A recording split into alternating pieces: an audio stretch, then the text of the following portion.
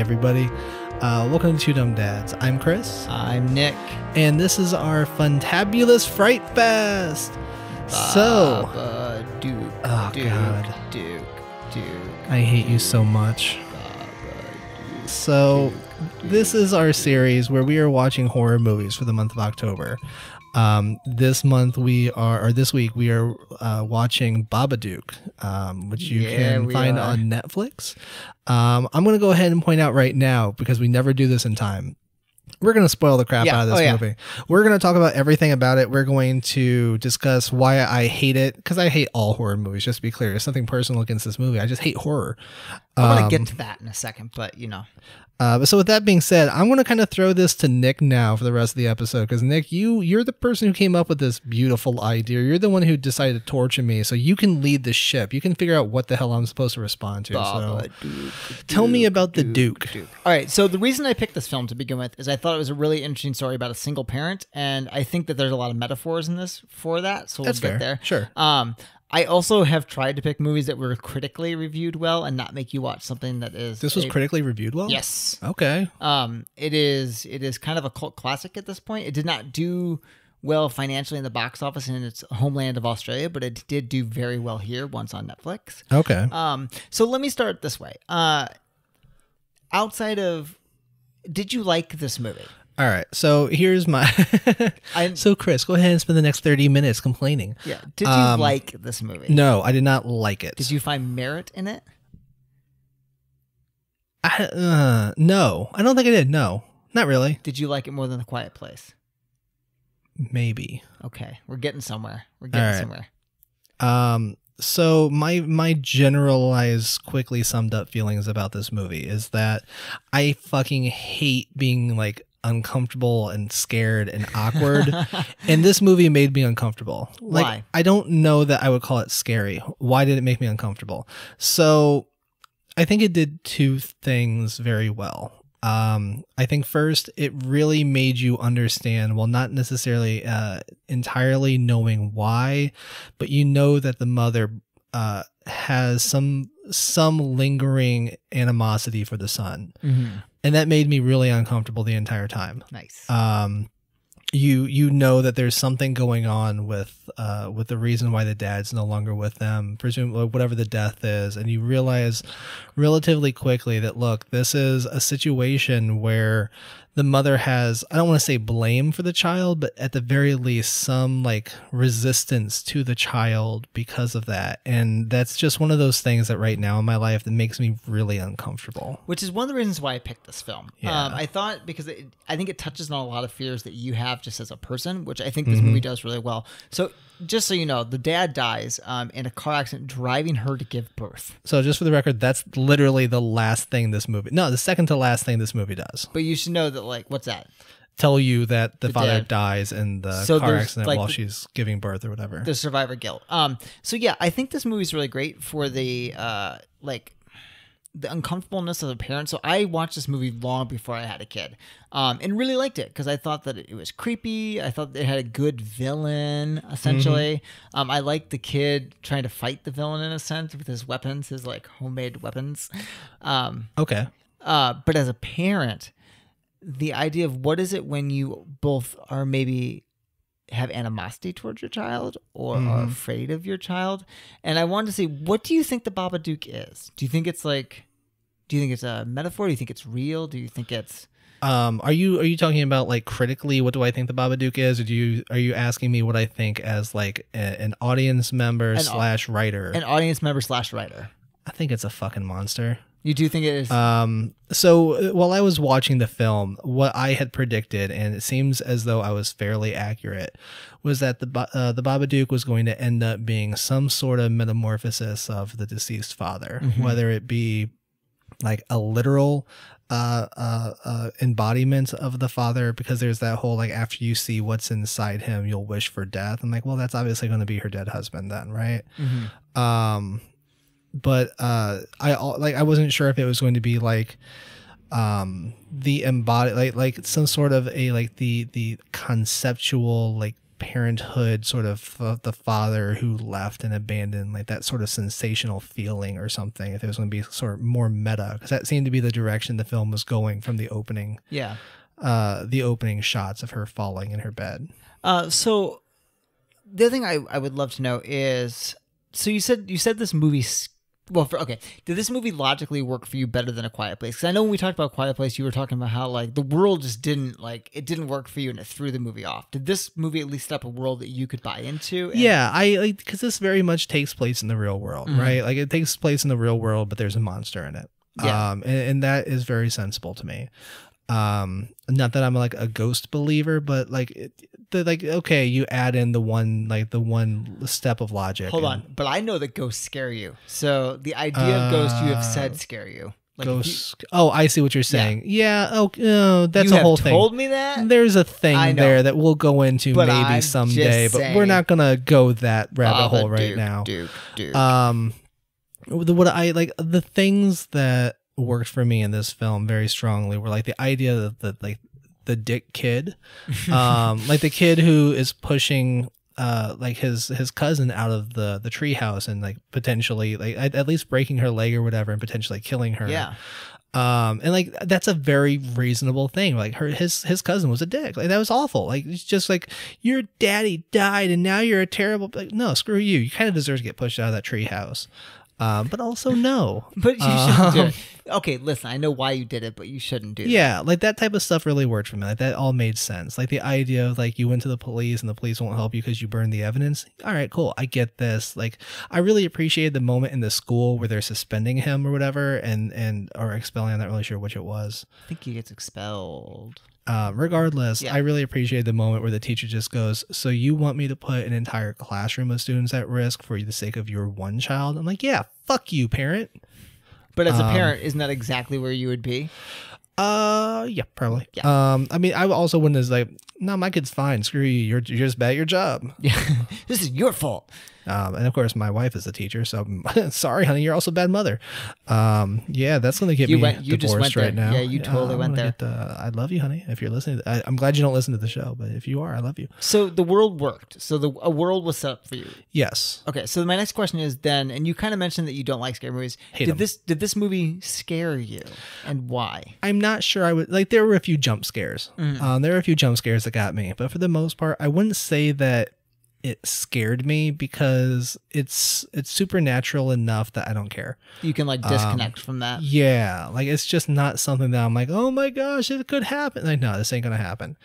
Um, what what it did do though was like there was that sort of metaphor, and I, I don't know, maybe you want to go to this later, but there's sort of the metaphor towards the end where like the mother who hasn't slept in so long is uh like accidentally carrying the knife in very various moments. And It's like is she crazy? Is she scared? Is this the monster that's in her? Or is like what's going like I'm not sure. Like and that made me a little uncomfortable because that metaphor of like being so exhausted trying to deal with a difficult kid, um, that's a, a very real sort of uh like idea that I could I can get on board with. So it's funny that you mentioned the dad and the Babadook because I actually, when I was watching this movie the first time, especially, I remember feeling like the mom is the Babadook. Like that is the actual. Really, you were thinking the mom was going to end up being like it was just Yeah. going to be her? like that she turns into the Babadook. Like that's what I thought was Oh. going to happen because because of like the sleep deprivation and going for the knife that you see her like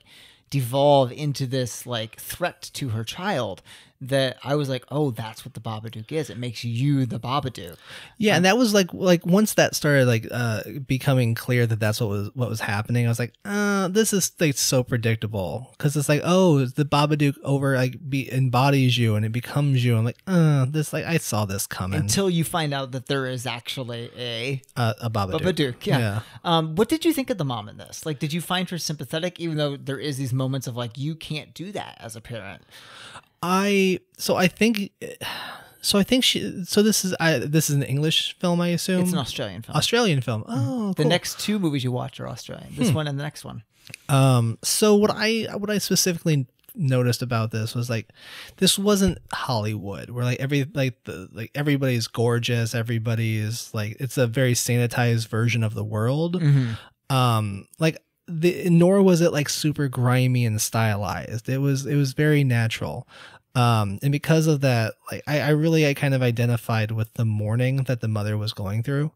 Um, like like there was no moment where you just kind of automatically had her just break down weeping or like some over exaggerated whatever. But the like the the nuanced approach to so to showing mourning, I thought was very effective in making me uncomfortable. Which so that's the thing. Um, I would love to. So I feel like this movie is really effective in the fact that, like, yeah, there are a few pop scares, but as I watch horror movies, like, that's not what I think makes a scary movie. Like, No, pop, pop scares are like icing on a cake, right? I mean, pop scares are what like infuriate me, and by infuriate me, I mean make me want to go hide under the couch they- and never come out Because they get you. because they get me. It's yeah. like I hate this. I hate this. It's cheap. It feels bad, and it lingers.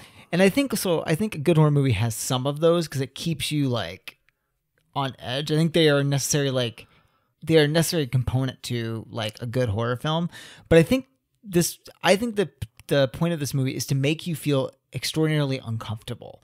Um, And as a parent, it made me feel really uncomfortable because you, it's understanding where that mom is and then also like fighting against those urges parent like you can't do that did you did you get into that level I definitely comfort? saw that. Like it definitely there was an element of like it's stealing the love you have for your child. Mm. And there I mean I can definitely see some sort of a, a metaphor there, like especially with like the trauma of having lost your husband in, in part because of having this child.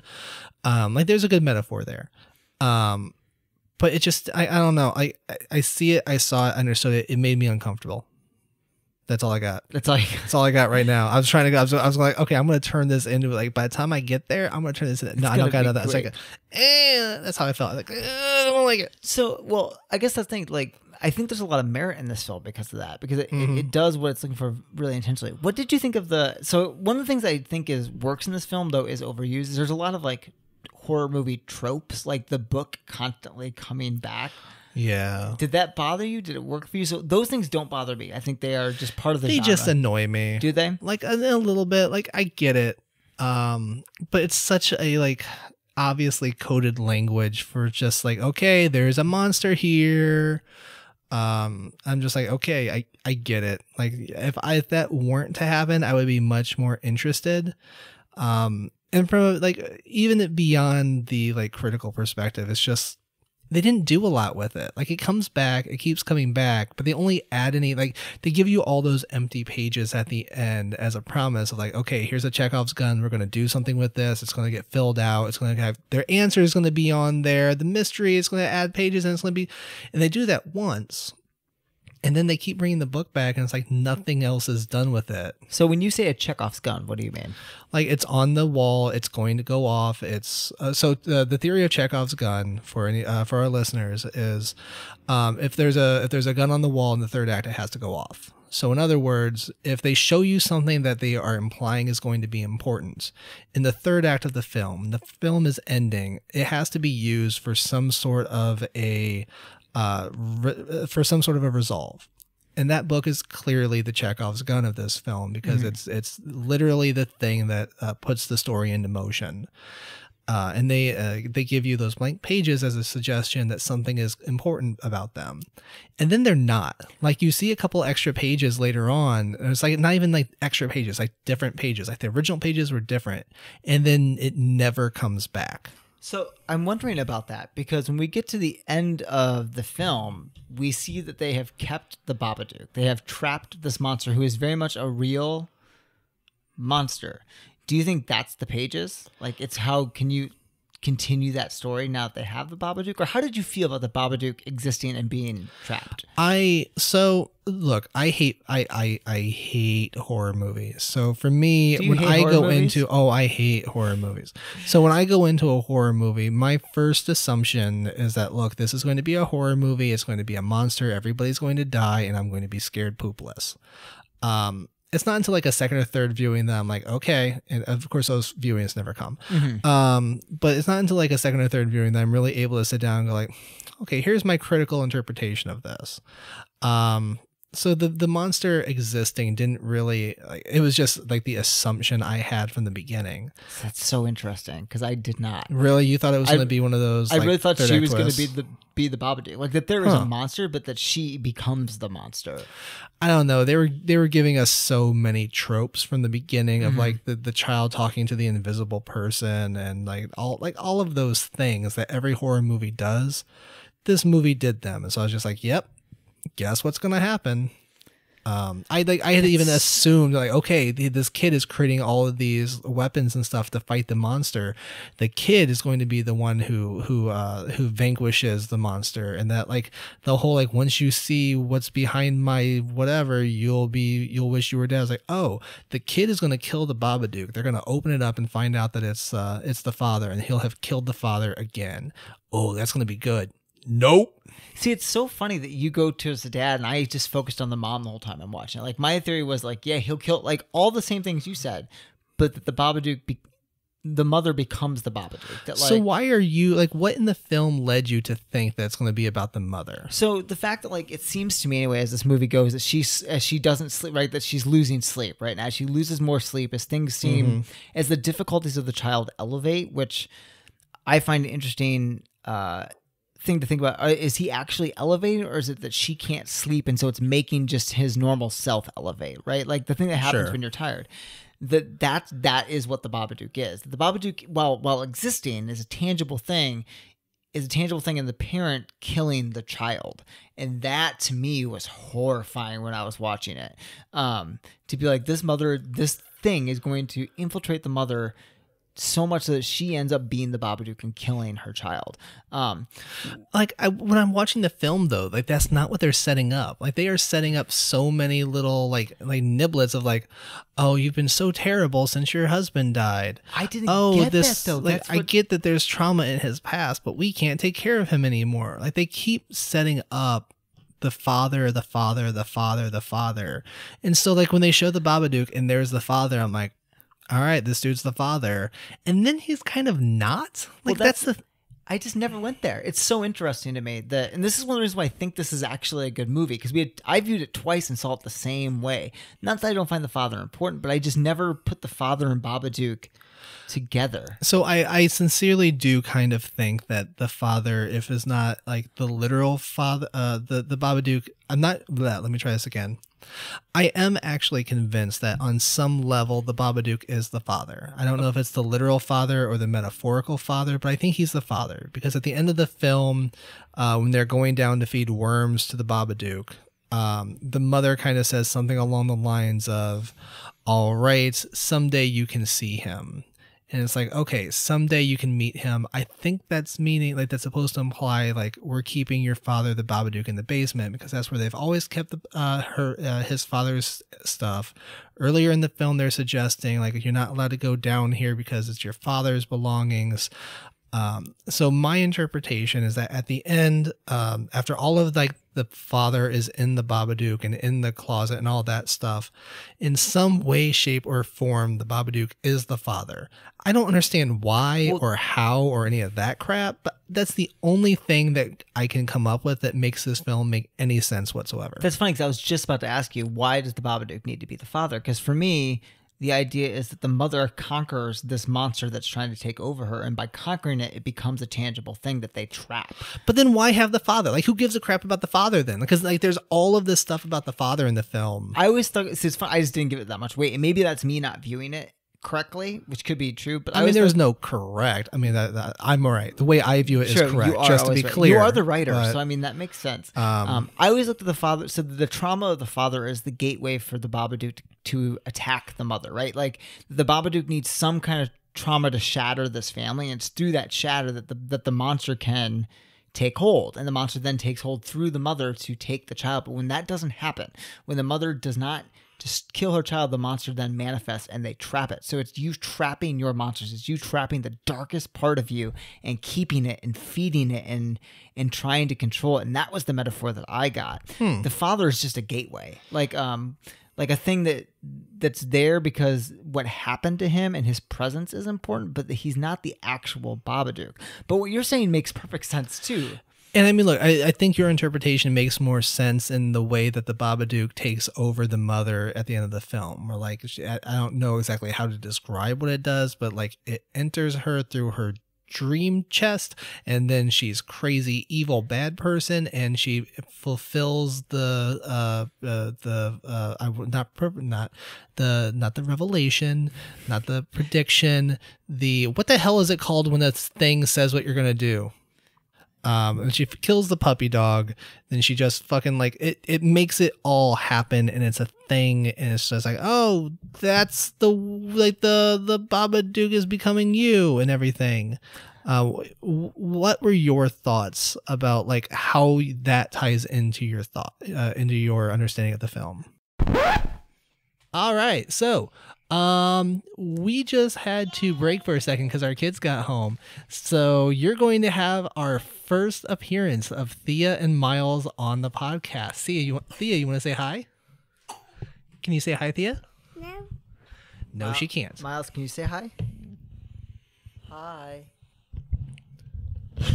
That's Miles saying hi. All right.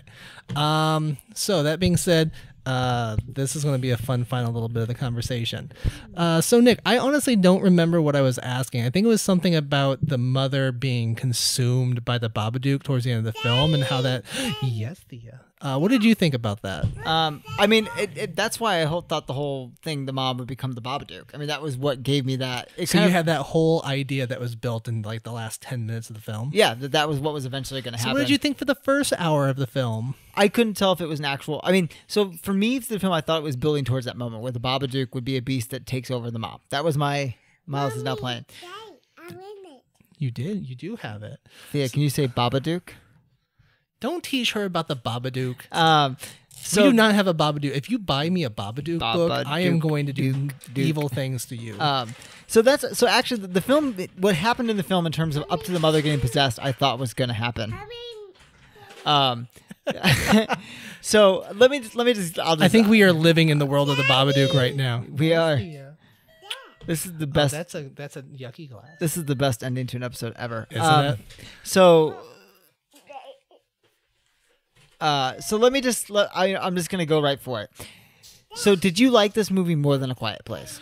Um, no, because I enjoyed the cl- the Quiet Place on like at least a performance level. Uh, while I acknowledge that the performances were wonderful in this film, I hated it. Like it just made me so uncomfortable and miserable. I, I was never scared or uncomfortable in a Quiet Place, and I like that. This one, I was perpetually uncomfortable. So basically, you didn't like this movie because it did exactly what it was supposed to do. Correct. So that would you say this then has merit? As I would say it was effective. It was effective. I'll take that. Um, uh, you got both kids on you. I got both kids. I have a Miles hug and a Thea hug. Miles is just walking around. Um, all right, I, I'll take that. I'll take that you at least thought it was effective because that means to me it did what it was supposed to do. All right, we'll take that. um, so th- sorry for the shorter episode this time. We'll try and have a little bit more on our next film, which is Cargo, which I'm very much looking forward to you watching. Cargo. So I have no idea about this film. I don't know anything about it. Um, but I'm looking forward to. to um, no, I'm actually. I'm, I'm terrified of watching. it. I hate the idea of watching it. Martin Freeman though. Martin Freeman. well, that gives me something. All right. So I think there's only one possible way we can end this, though. Are you ready for it? Baba, Baba, Duke, Duke, Duke, Duke. Duke.